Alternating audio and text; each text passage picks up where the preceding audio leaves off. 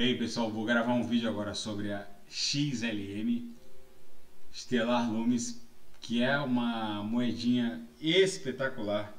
Ela sangrou como todas as como todos os ativos do mundo cripto sangraram, chegou a 0.45 e agora estabilizou na nuvem de Shimoku a 0.5025.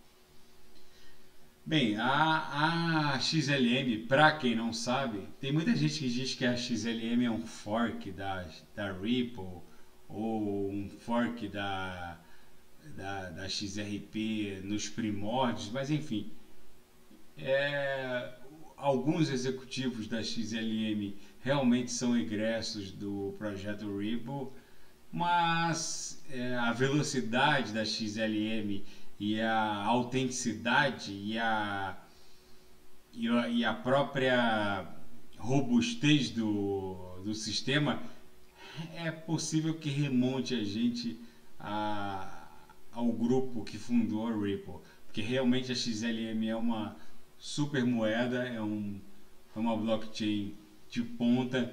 Eu realmente já li várias reportagens sobre esse suposto fork nada me confirmou, mas que existe uma, uma simbiose entre os executivos da XLM e da Ripple no mundo cripto. Isso é efetivo, isso existe.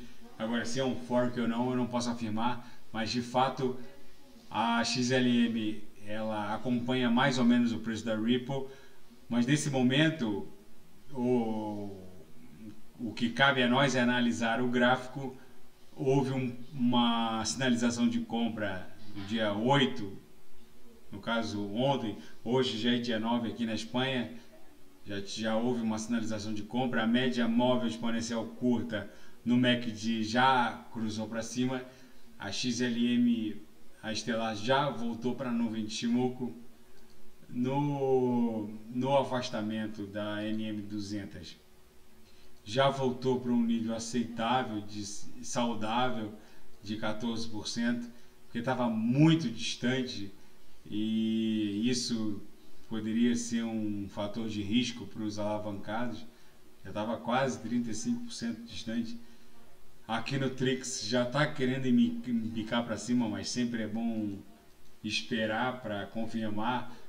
Mas como o preço está preso nessa nessa congestão da nuvem de Shimoku, é, bem provável que a XLM fique congestionada nessa região da nuvem entre 0.51 e 0.49 para depois retomar o seu rally de alta. Então, pessoal, é, é essa análise que eu faço da XLM, é fundamentalmente falando, é uma boa moeda ela tem um potencial brutal para subir muito mais até do que a Bitcoin.